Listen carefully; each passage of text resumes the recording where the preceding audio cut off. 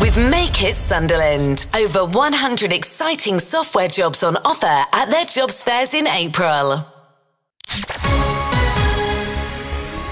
First for Wearside's News, I'm Tristan Hunkin. A symbolic moment for train building in County Durham. The final track parts are being installed, which will connect the new Hitachi factory to the rail network.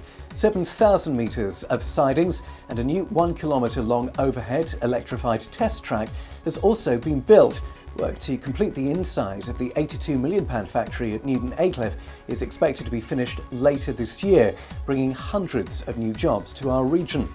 Over the next few weeks, officers from Tyne and Wear Fire and Rescue Service will be going into schools across Sunderland to raise awareness of the dangers of arson.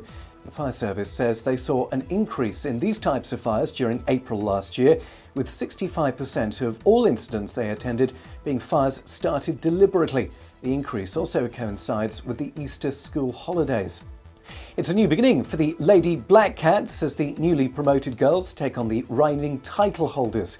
The 2015 FA Women's Super League season starts tonight at quarter to eight.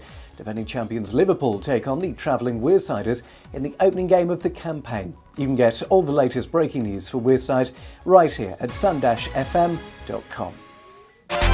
With Make It Sunderland, over 100 exciting software jobs on offer at their jobs fairs in April.